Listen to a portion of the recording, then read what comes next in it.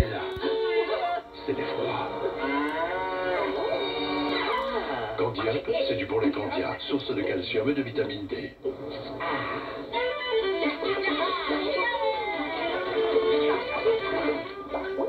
on on est des rois du lait, quoi. Eh ouais. Candia, on n'a jamais fini de grandir.